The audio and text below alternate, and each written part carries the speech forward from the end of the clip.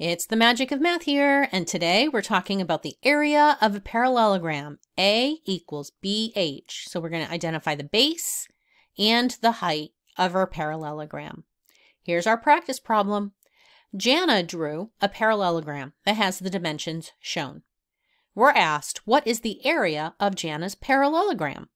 So here's where you're going to pause the video. You're going to find the area of the parallelogram, select your answer choice, and come back and hit play to see my work. Go ahead and pause. Good luck. Welcome back. We're finding the area of a parallelogram.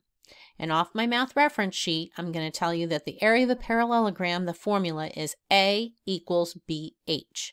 When we read this formula, we're recognizing that there's an invisible multiplication sign between the b and the h, and b multiplied by h is equal to the area of our parallelogram.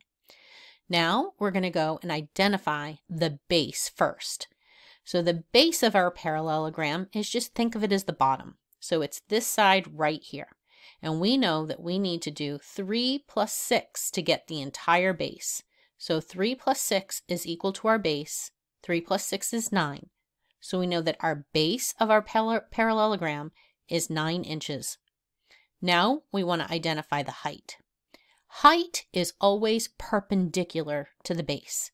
So we're going to look at this dimension right here and notice that it's perpendicular. That's what that little box means right there. That's a right angle or 90 degrees, making it perpendicular to the base so we know that 8 inches is h the height. Now we're ready to use our formula. So A is going to be equal to 9 of our base multiplied by our height of 8. 9 times 8 is 72, telling us that our correct answer is D, 72 square inches.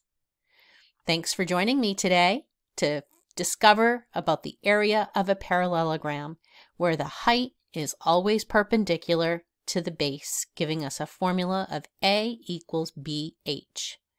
And that's the magic of math, where we continue to master math one video at a time. Thanks for joining me today, and I hope you come back soon.